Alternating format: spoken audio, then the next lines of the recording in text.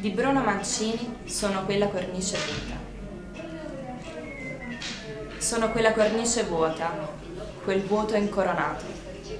Sotto un vento d'incanto sono un curvo pastore di illusioni. Sono quel tronco cavo che vidi un mattino, in sofferenza d'arsura, nero di insetti.